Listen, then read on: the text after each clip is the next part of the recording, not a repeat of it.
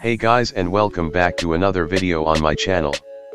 I am Jan and in this video series, you will learn how to control a WS2811 LED strip with an Arduino.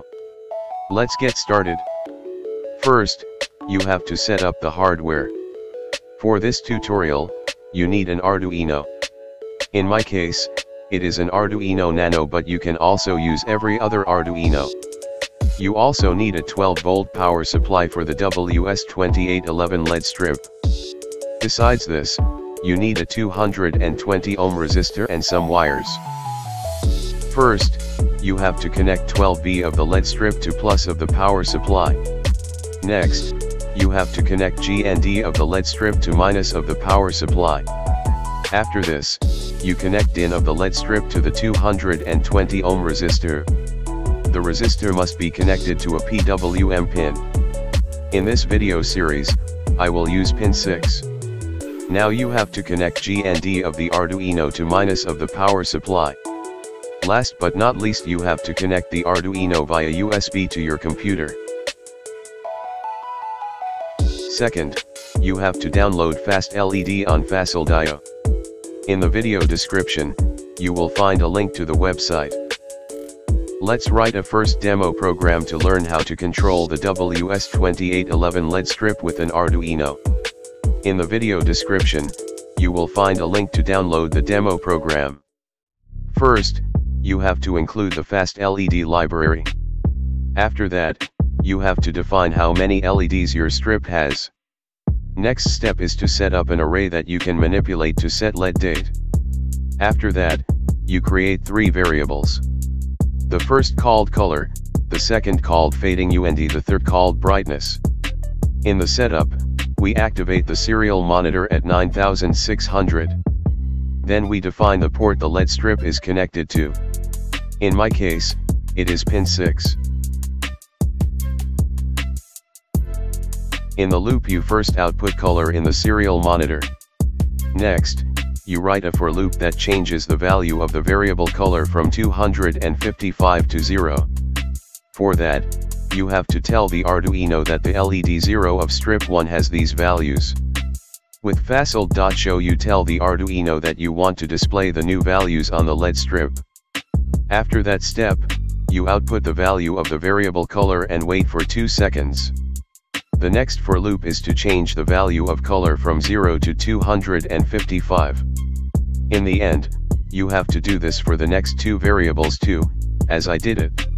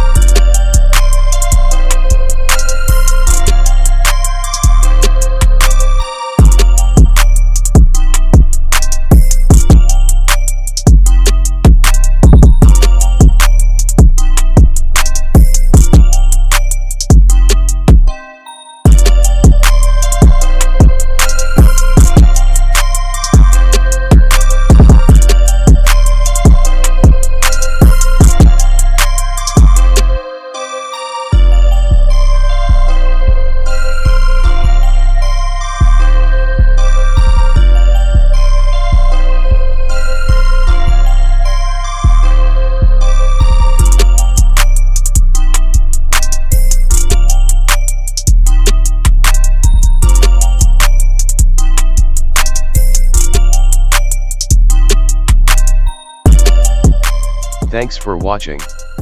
Don't forget to like the video and subscribe to my channel for free.